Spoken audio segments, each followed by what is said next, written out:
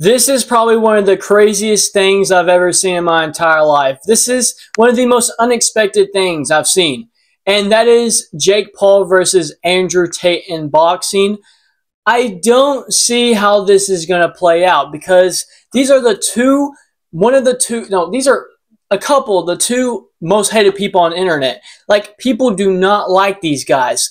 And for them to go head on head, this would be really funny. A couple things I should mention. Andrew Tate, apparently he beat the cases that he had. And uh, apparently with Jake Paul, um, he did. He's going to try to do a flip a coin to see what weight class that him and KSI do. And Ryan Garcia is trying to box Logan, Jake Paul. So I don't exactly know what's happening here. I just seen a little photo on uh, Twitter, and it was like, this is kind of interesting because that would be really funny if one of the, like some of the two most hated people on the internet box each other. That would be just really funny to me because whose side are you on? Like if you hate Jake Paul, I would get why you're on Andrew Tate's side. But if you absolutely hate Andrew Tate, I would get why you're on Jake's side. And I don't think I'm actually going to pick a side because both of him, both of them have done bad things, right? So I'm not going to really pick a side because I don't feel like entertaining the other party or either one of them. Now, if you look at it from a realistic and a moral standpoint, I think that Jake Paul is better than Andrew Tate. This has nothing to do with boxing. I'm just talking about by a, a moral standpoint. Because if Andrew Tate, if all of his stuff that he's like said and does and stuff, it's pretty bad. It's really bad, actually. And with Jake Paul, it's just like, you're just a bad person. You don't really, you, you haven't really committed any crimes that I know of. I just thought this was really funny because I never expected to this even be an option.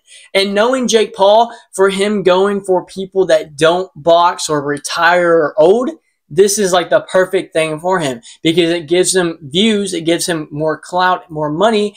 And for Andrew Tate, I don't really see what it does for him. Andrew Tate's like, ugh, I'm going to knock you out, man. Like, I don't really see the point on his standpoint, but Jake would probably want to do this. Uh, like I said, I don't really have a person that I would want to win this. Of course, this is all hypothetical because there is no real like evidence that they will actually box each other. I think it's just throwing words around. And as we know with Jake Paul, uh, they just throw stuff around. And I don't really know about Andrew Tate that Andrew Tate. I don't really know about Andrew Tate that much. I just remember him going whoop you know. And but with Jake Paul, he's been very co consistent with the viewership, which is interesting, I guess. Very um, respectful, I guess you could say. Even though most people hate Jake Paul, it's still something. But with the KSI and Jake Paul thing, I don't exactly know if that will happen because they they both are trying to dodge each other for some strange reason. I think they're doing it because they're getting more clout than if it actually happened. But if it actually happened, then they would get all the clout at once, if that makes any sense. It really all depends on who wins the fight if they do ever fight. I do know that KSI doesn't think he's going to actually fight him because Jake keeps changing the numbers. I don't really know what's happening between them two. I think it's just both of them trying to dodge each other and it's just not working.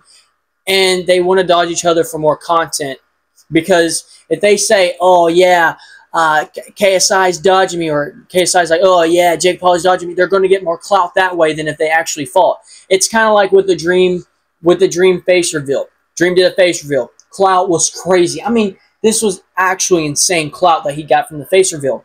But then as soon as he did his face reveal, he was on his top of the game. And then he just slowly went down, and now he's like right here. He's not completely falling off. I see some videos Dream does some crazy videos. Never seen a person in Minecraft before till now. So I don't exactly know what's going to happen. Jake Paul might fight Andrew Tate. I don't really know. And I don't really care who wins. Like, you could do whatever.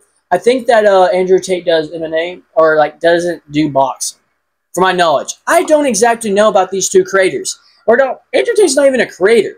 He's more of a person that caused a lot of controversy and got lots of fame. And now he's just well known and no one really cares about him. But then again, he's also really rich, so at the same time, he probably does not care at all. But as someone who doesn't really care for Jake at all, like, I generally do not care about bro. Like, honestly, you can do whatever you want. I don't care.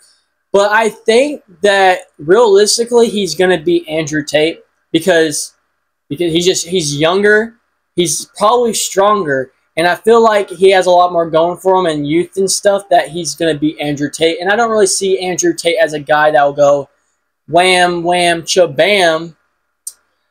I feel like they're all talk, really. I feel like most of this is all talk. There really is nothing happening that's like, boom. You know what I'm saying? But I know this is a very short video. I just wanted to get this out there. I don't really care about the video length anymore because I don't make money off of it. So I'm just doing it for information spreading. But anyways, guys, let me know if they do box. Hypothetically, if they did box, who do you think would win? Um, don't look at their history. Just who do you think would win? Probably Jake Paul, to be honest. But if you guys enjoyed, make sure to hit that like button, subscribe. But anyways, guys, peace out.